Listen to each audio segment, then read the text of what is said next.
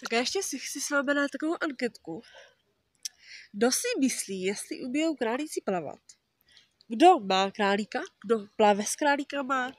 Kdo si myslí, že je to absolutně nesmysl plavat, naučit plavat, plavat králíka?